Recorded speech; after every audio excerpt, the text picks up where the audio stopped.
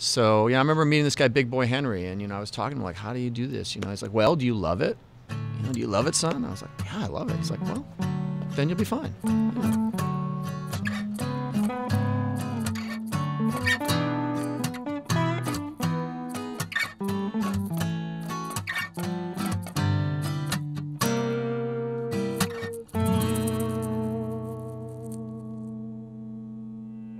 This one's called Don't Let Him Take Your Joy.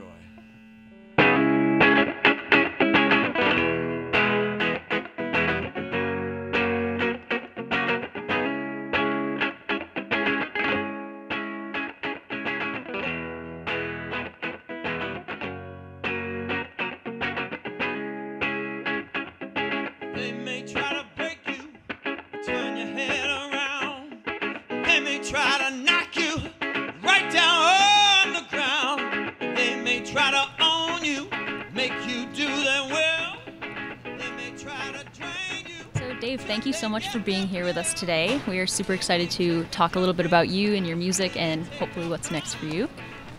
I'm psyched to be here. So, um, could you just start off by telling us just a little bit about who you are, um, just in general? 30 second spiel. Okay. Uh, well, I'm a working musician. I live in Vermont, of all places, and I've been a working musician, paying my bills, playing guitar, and, and teaching some also, uh, and singing. You know, my band and solo gigs and things since 1993. Can you talk a little bit about your evolution as a musician over the last few years? Well, I guess I would say, you know, you, we talked earlier about being into blues music, and then I, like for my 20s, that's all I would listen to.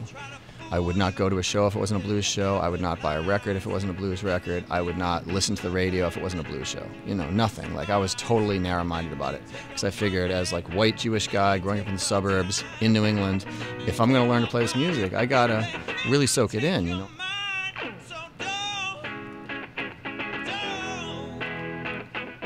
Eventually, ended up being an English major. I loved writing, just loved kind of expressing myself different ways. And then halfway through college, uh, I got asked to join a band just because I owned an electric guitar and an amp.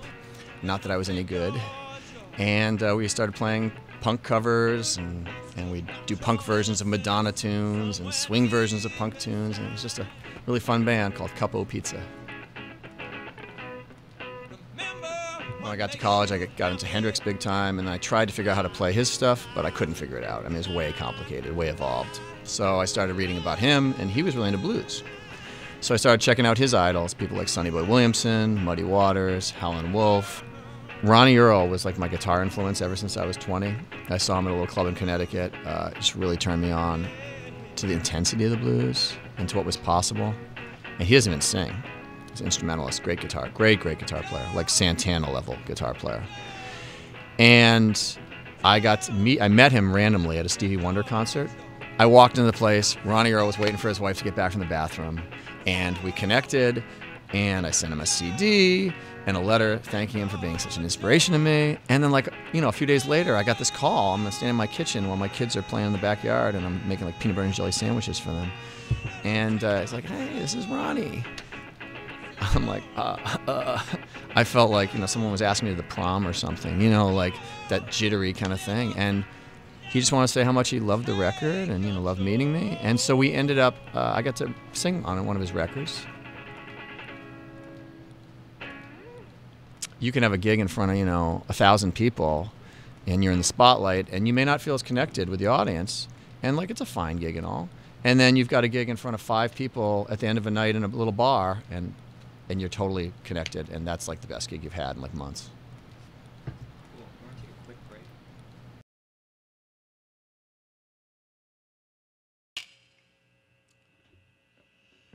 This one's called 17 Years.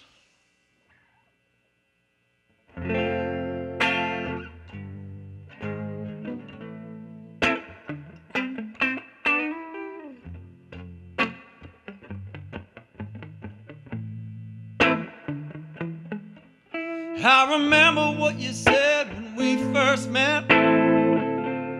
How much love one girl get?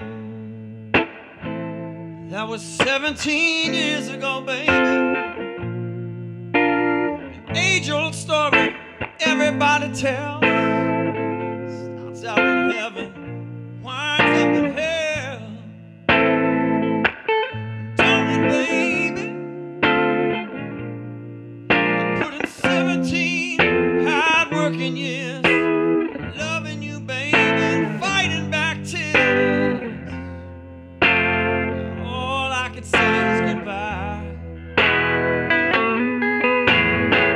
17 years of heartache, 17 years of pain, 17 years of love, and it all went down the drain. You see, it started out a terrific love affair. I was in love with the very idea of you being there. Yes, I was, girl.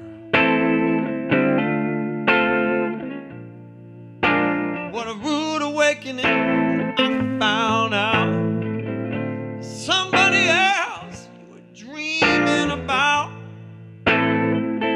Now my dream is over. Well, it took 17 years for me to find out a whole lot of things I know nothing about. Oh, girl, that's the truth.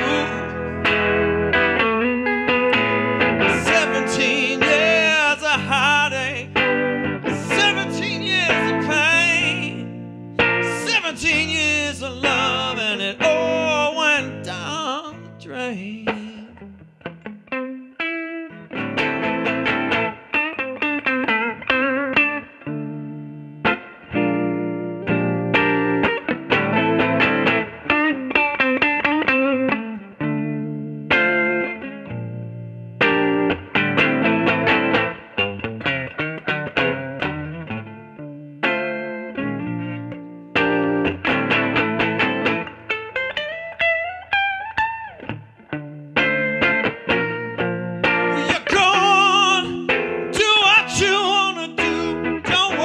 Dave Keller, cause I'll make it through.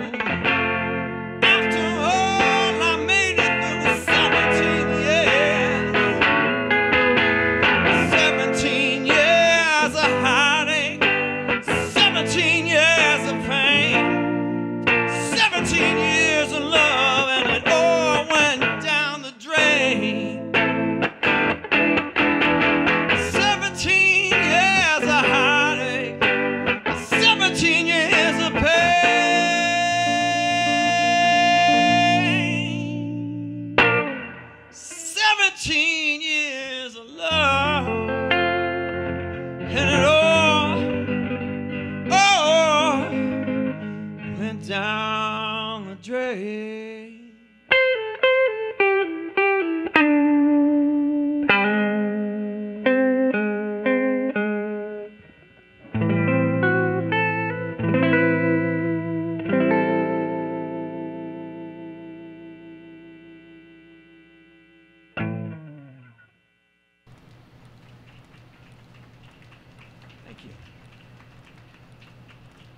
Do you have um, any advice for an aspiring blues artist?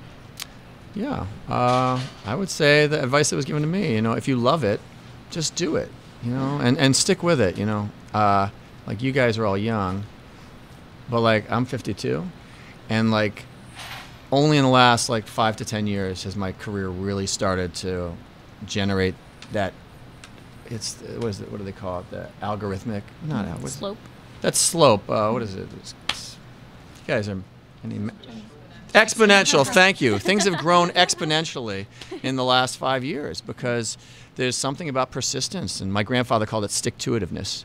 You know, if you stick with something a really long time, I mean, you have to love it to be able to do that and and make it weather through all the various little ups and downs and storms and whatnot. But if you can stick with it, it really starts paying dividends, and you know, you see the you see the real rewards later sometimes.